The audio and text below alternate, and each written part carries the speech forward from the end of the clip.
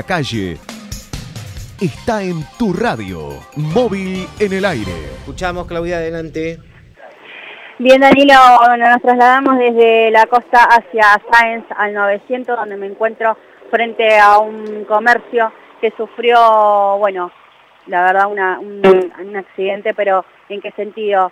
Eh, un vehículo en la madrugada del domingo, alrededor de las 5 de la mañana más o menos, eh, ingresa a, uno de, a una de sus vidrieras ¿no? que, tiene acá enfrente del comercio rubro ferretería. Em, así que bueno, este vehículo eh, accidentalmente tenemos que decir se mete, cruza lo que sería la vereda y se incruza en la, en la parte del frente de este comercio ingresando ya eh, más o menos en la trompa de lo que sería el vehículo eh, adentro, ¿no? Eh, haciendo, bueno, rompiendo la misma vidriera y algunos elementos de, la misma ferretería aquí adentro.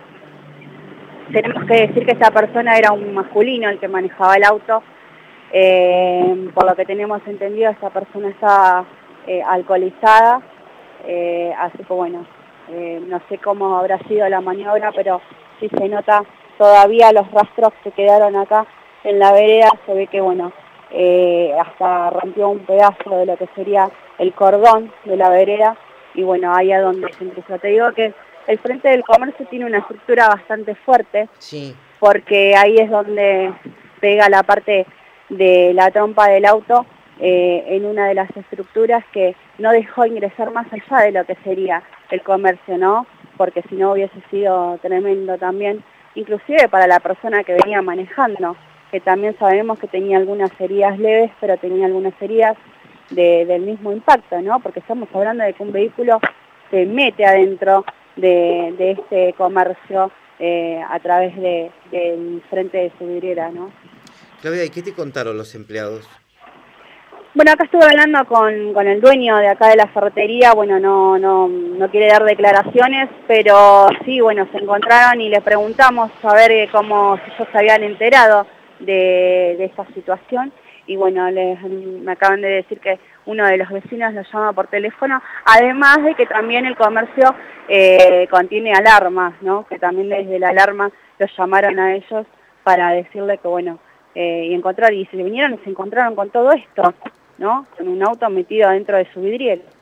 Claudia, y decime, ¿se van a ser responsables de esto? Claro, eso es lo que también estábamos preguntando, porque esta persona sabemos que es un chico alrededor de 20 años que venía manejando en su vehículo. Eh, supuestamente ya estaba alcoholizado este chico.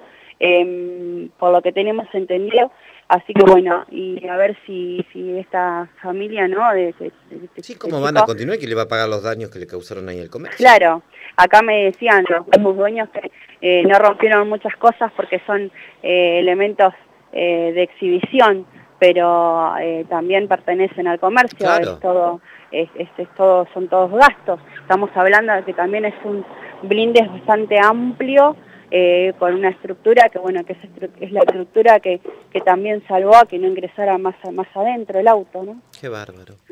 Pero bueno, sí, preguntamos, ¿no? A ver si, si esta persona se va a hacer cargo y calculamos que desde el seguro del auto se pueden hacer cargo de los elementos que, que ha roto esta persona al ingresar con su vehículo.